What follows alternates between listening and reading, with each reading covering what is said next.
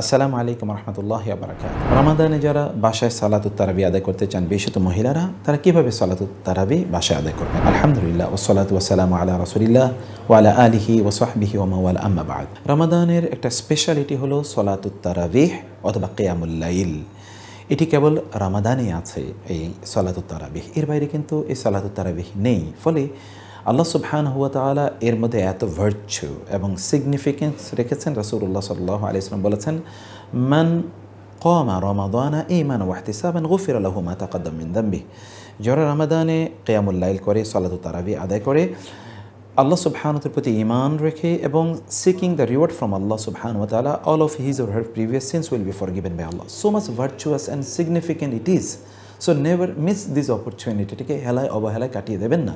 আর বিশেষত এটি যদি আপনি যদি ইনশাআল্লাহ জামাতে আদায় করতে পারেন, তাহলে তো এটা ওয়েল অ্যান্ড গুড মাশাআল্লাহ রসুল্লাহ সাল্লাহ আলিয়াল্লাম বলেছেন, মান কমা আল ইমামি হাত্তান সরাফা কুতিবালাহু কেয়ামুলাইলাতিন কেউ যদি ইমামের সাথে এই কেয়ামুল্লাইল এটি করে, যেটি আমরা সলাত তারাবিহ অথবা এই সলাত আদায় করে, যতক্ষণ ইমাম সলাত আদায় করে, তাহলে সারা রাত জুড়ে তিনি সালাত আদায় করার মতো সব তিনি পেয়ে যাবেন। রসুল্লাহ সাল্লাহ আলিয়াল্লাম তিনি সাহাবিদের সাথে পড়েছেন। পরবর্তী তিনি পড়েননি কারণ এটি যদি ফরজ হয়ে যায় ভয়ে। কিন্তু পরবর্তীতে সাহাবাই আমরদি আল্লাহ তালাহম আজমাইন, বিশেষ করে ওমর আল্লাহ তালাহন যোগে এটি এটি এত চমৎকারভাবে এটি জামাতে আদায় করার ব্যবস্থা করা হয় যে ওমর রদি আল্লাহ তালা আনহু তিনি বলেছেন নেহমাতুল বেদ আতু হ্যাঁ দিহি আহ, কি অসাধারণ দৃশ্য।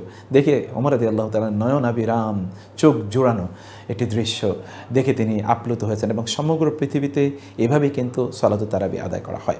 ফলে আমরা যদি ইনশাআল্লাহ জামাতে আদায় করতে পারি, তা তো খুবই ভালো। কিন্তু মহিলারা তো তারা জামাতে যান না অথবা যেতে পারেন না বা সেই সুযোগ সব জায়গায় তাদের জন্য থাকে না।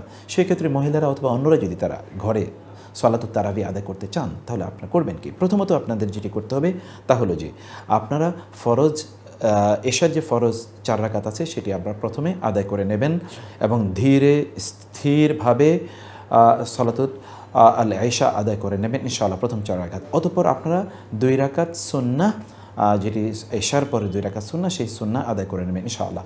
তারপর আপনারা সালাতু তারাবি আদায় করবেন। যারা আট রাকাত পড়তে চান, আট রাকাত পড়বেন। যারা বিশ রাকাত পড়তে চান, তারা বিশ রাকাত পড়বেন। কেউ যদি কম বেশি পড়তে চান, তাহলেও করতে পারেন ইনশাআল্লাহ।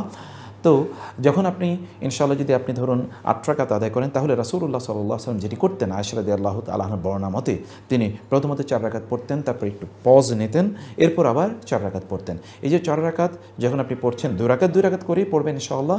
প্রথম দু রাকাত দু রাকাত, চার রাকাত পড়ে এরপর একটু পজ নিয়ে একটু কোরআন তালাত করতে পারেন, একটু তাজবি তাহলিল পড়বেন, একটু দোয়া আজকার ইত্যাদি ইনশাআল্লাহ পড়বেন, অথবা ধরুন নিজেদের মধ্যে একটু দিন নিয়ে আলাপ আলোচনা করবেন, বাসায় যারা পরিবারের সদস্যরা আছে তাদেরকে নিয়ে এগুলো করে, তারপর ইনশাআল্লাহ পরবর্তী চার রাকাত আবার পড়ে নেবেন ইনশাআল্লাহ। কিন্তু এই যে চার রাকাত চার রাকাত করে আপনি পড়ছেন বা দু রাকাত, দুই রাকাত করে চার রাকাত পরে একটু রেস্ট নিয়ে আবার চার রাকাত পড়ছেন, এগুলো খুবই চমৎকারভাবে যেমন আয়সরদি আল্লাহ তালা আনহা তিনি বলেছেন লাত আলুনি আন হুসনিহিন্না ওতুলিহিন্না তিনি লম্বা সময় জুড়ে এবং খুবই চমৎকারভাবে চার রাকাত করে রসুল্লাহ সাল্লাম পড়তেন।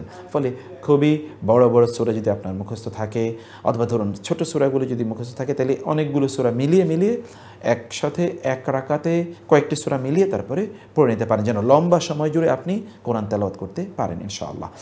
এরপর কেউ যদি বিশ রাকাত পড়তে চান, ইনশাআল্লাহ দেন ওয়েল অ্যান্ড গুড মাশাআল্লাহ, কোনো সমস্যা নেই। আপনি বিশ রাকাত যদি পড়তে চান, তাহলে আপনি যা করবেন, তাহলে দুরাকাত দুরাকাত করে পড়ে, প্রথম দশ রাকাত পড়ে একটু সময় নিয়ে, অথবা ধরুন আগের মতো করে চার রাকাত পড়ে একটু সময় নিয়ে অন্য তসবি তাহলে পড়বেন যেগুলো কোরআন এবং সন্না দ্বারা প্রতিষ্ঠিত এবং সাবেত। কিন্তু যেগুলো কোরআন এবং সন্না দ্বারা সাবেত নয়, যেমন সুবাহানাজিল মুলকি ওয়াল মালাকুতি সুবাহান আলী ইজাতি এরকম অনেক ধরনের ধরুন তাজবি তাহলিল আমাদের লোকেরা বের করেছে। এগুলো যেহেতু কোরআন এবং সই সন্না দ্বারা সাব্যস্ত নয়, সেগুলো পড়বেন বরং যেগুলো কোরআন এবং সই সন্না দ্বারা সাব্যস্ত, সেগুলো পড়বেন।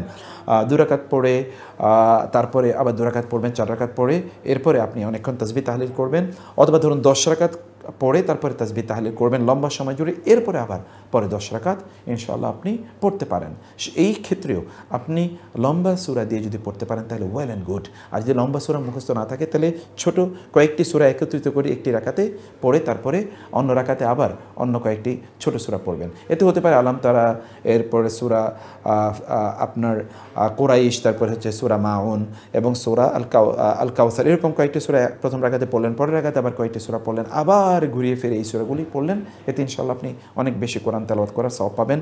অনেক লম্বা সময় রুকু দেবেন, অনেক লম্বা সময় সেজদা প্রদান করবেন ইনশাআল্লাহ। সেজদার মধ্যে আপনি আপনার মতো করে দোয়া করতেই থাকবেন মহান আল্লাহ সুবহান হতে আলার কাছে তারপর যদি আপনারা সালাদ শেষ করার পর যদি কেউ, ইনশাআল্লাহ সালাতুল সালাতুল ভেতের যদি পড়ে নিতে চান, তাহলে সালাতুল ভেতের পড়তে পারেন, ইনশাআল্লাহ। আর যদি আপনি মনে করেন যে আপনি সালাতুল ভেতের আদায় করবেন না, তাহলে ইনশাআল্লাহ আপনি যখন সাহুর খাবেন, সাহুর খাওয়ার একটু আগে আপনি ওঠার চেষ্টা করবেন। সেটি ধরুন সাহারে যদি আমাদের সাড়ে চারটা হয়, তাহলে কমপক্ষে আপনি চারটা বা পৌনে চারটা বা এরকম একটি সময়ে আপনি উঠে, আপনি দুরাকাত বা চার রাকাত কেয়ামুল্লাইল এক্সট্রা সালাত ইনশাল্লাহ আপনি আদায় করার চেষ্টা করবেন। সে সময় আল্লাহ সব হানুয়াতের প্রথম আকাশে নেমে আসেন এবং আপনার প্রার্থনাগুলো তিনি মনোযোগ দিয়ে শুনে এবং সেখানে উত্তর প্রদান করেন।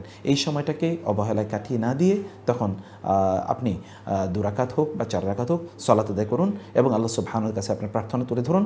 অতপর আপনি ভেতের, সালাতুল ভেতের আদায় করবেন। সালাতুল ভেতের আপনি আদায় করতে পারেন, তিন রাখাত আদায় করতে পারেন, আবার এক রাখাতও আদায় করতে পারেন। সৈহাদিসে সৈয়দ বোখারিতে এসে রসুল্লাহ সাল্লাহ আলী আসলাম বলেছেন, ফাইদা খাসি আহাদুকুম আসোভা সল্লা ওয়াহেদাতান তো তিরুল্লাহু মা কাতে সল্লা।